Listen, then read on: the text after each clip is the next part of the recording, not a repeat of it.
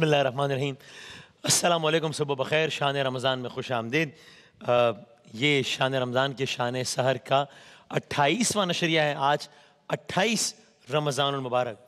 یعنی ممکن ہے کہ کل شان سحر کا آخری نشریہ ہو۔ ممکن ہے۔ اور اگر تیس روزے ہو گئے تو پھر دو اور ایپیسوڈز ہوں گے شان سحر کے۔ زیادہ سے زیادہ۔ تو ظاہر ہے وہ تیزی سے سفر اپنے اختتام کی جانب بڑھا ہے۔ جناب قاری بھائی ظفر قاسمی صاحب ہمارے ساتھ ہیں تلاوت کلام پاک سے بزم کا آغاز کریں گے انشاءاللہ۔ اعوذ باللہ من الشیطان الرجیم۔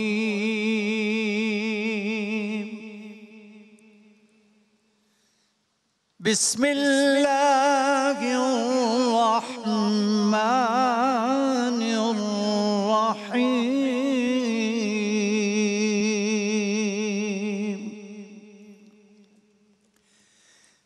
فأقبل بعضهم على بعض يتساءلون.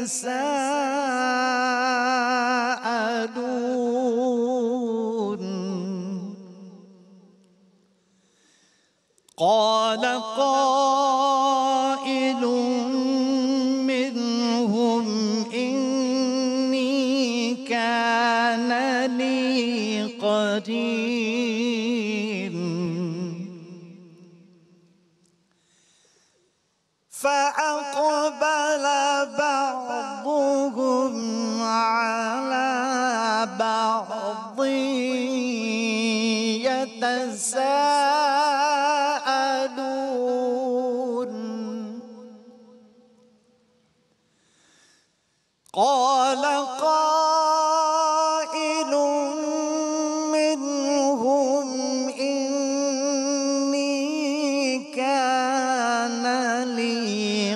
قرين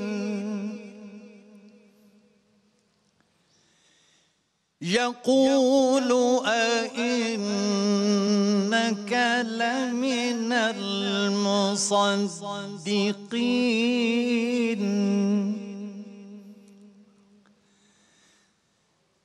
أإذا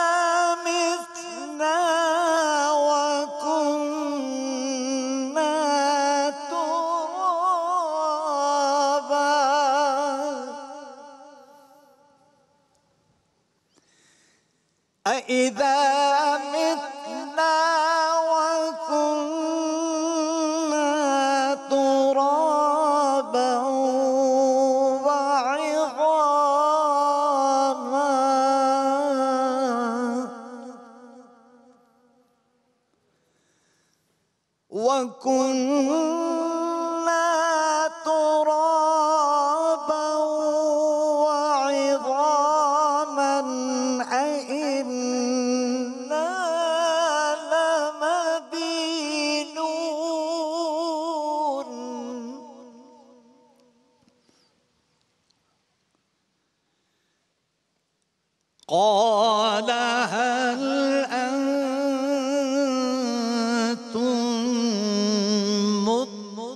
مطلعون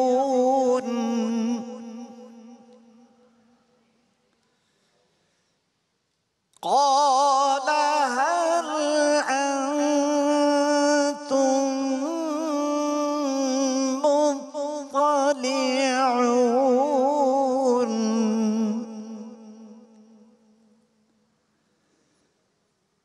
فاطلع فرآه في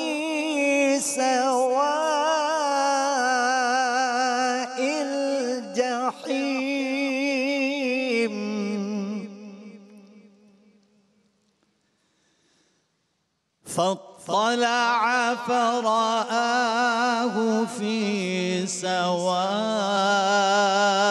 الجحيم.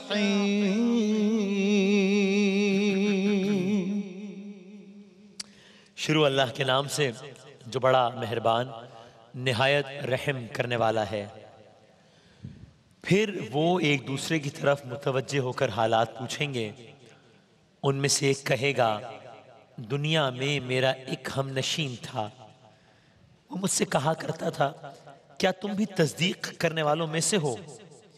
کیا واقعی جب ہم مر چکے ہوں گے اور مٹی ہو جائیں گے اور ہڈیوں کا پنجر بن کر رہ جائیں گے، تو ہمیں جزا و سزا دی جائے گی۔ اب کیا آپ لوگ دیکھنا چاہتے ہیں کہ وہ کہاں ہے؟ یہ کہہ کر جو ہی وہ جھکے گا، تو جہنم کی گہرائی میں اس کو دیکھ لے گا۔ صدق الله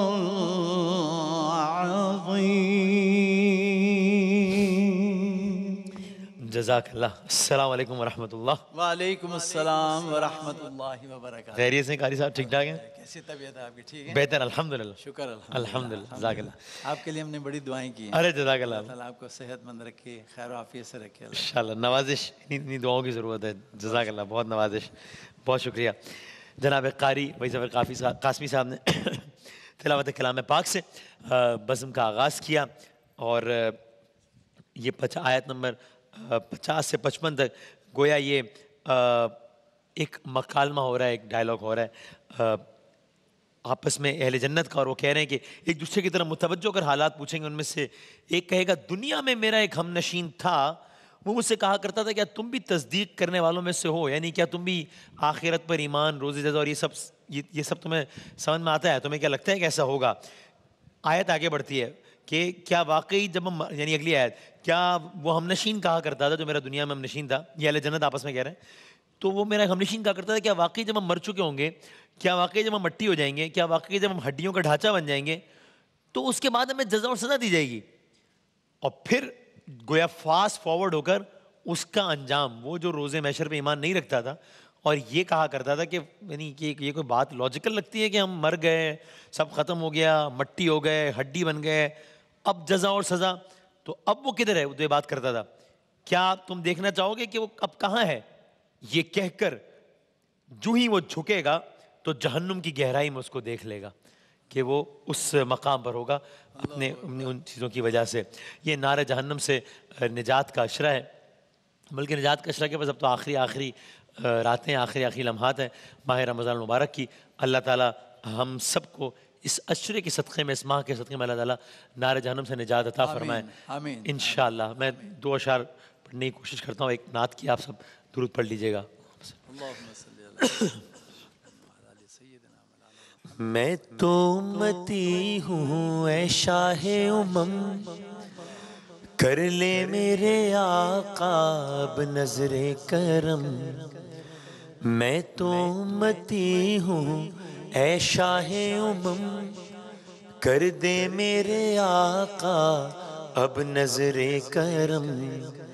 میں تو بے سہارا ہوں، دامن بھی ہے خالی۔ نبیوں کے نبی، تیری شان ہے نرالی۔ غم کے اندھیروں نے یوں گھیرا ہوا آقا دشوار اب جینا میرا ہوا ہے۔ بگڑی بنا دو میری تیبہ کے والی۔ بگڑی بنا دو میری تیبہ کے والی۔ نبیوں کے نبی تیری شان ہے نرالی، میں تو امتی ہوں، اے شاہ امم، کر دے میرے آقا، اب نظر کرم۔ جس کو بلایا گیا وہی عرش بری ہے۔ آپ کے سوا ایسا کوئی نہیں ہے۔ جس کی نہ بات کوئی رب نے بھی ٹالی، جس کی نہ بات کوئی رب نے بھی ٹالی۔ نبیوں کے نبی، تیری شان ہے نرالی۔ میں تو امتی ہوں، اے شاہ امم کر دے میرے آقا، اب نظر کرم۔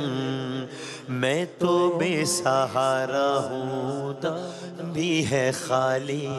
نبیوں کے نبی، تیری شان ہے نرالی۔ ایک وقفے کے بعد دوبارہ حاضر ہوتے ہیں انشاءاللہ۔